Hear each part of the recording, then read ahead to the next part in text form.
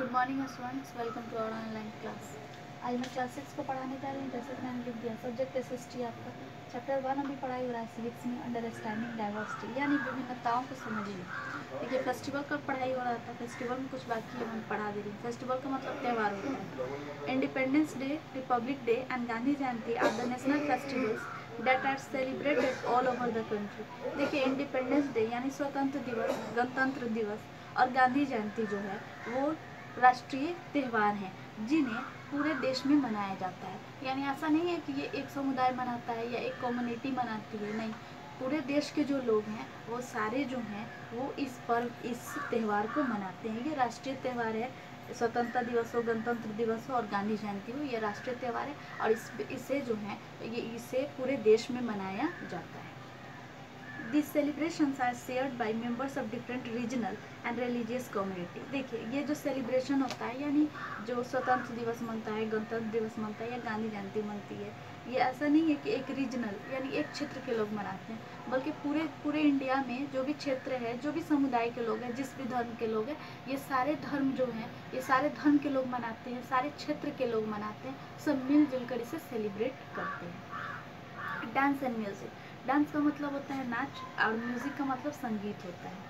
Diversity in India exist in the field of dance and music also देखिए India में जब आप विभिन्नताओं को देखेंगे, यानी डाइवर्सिटी क्या हुआ? एक दूसरे से जो चीज़ आपको अलग बनाती है।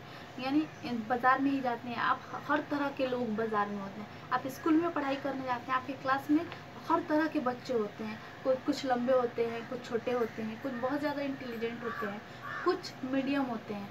तो यही सब क्या है? यही डाइवर्सिटी है। यानी एक दूसरे से जो चीज़ अलग बनाती है, उसी को हम क्या बोलते हैं? डाइवर्सिटी बोलते हैं। तो देखिए डाइवर्सिटी जो है, वो इंडिया में आप म्यूज़िक में भी देख सकते हैं और डांस के फ़ील्ड में भी देख सकते हैं। यानी नृत्य के फ़ील्ड में भी देख सकते हैं और संगीत के फ़ील्ड में भी देख सकते हैं। There are many mainly two kind of dances in India देखिए, दो तरह का नृत्य जो है, वो भारत में बहुत ज़्यादा प्रसिद्ध है, प्रचलित है। क्लासिकल एंड फॉक एक क्लासिकल डांस होता है और एक फॉक डांस होता है। क्लासिकल का मतलब शास्त्रीय जो शास्त्रीय जो नृत्य होता है और फोक का मतलब लोक नृत्य होता है। एक लोक नृत्य होता है, एक शास्त्रीय नृत्य होता है।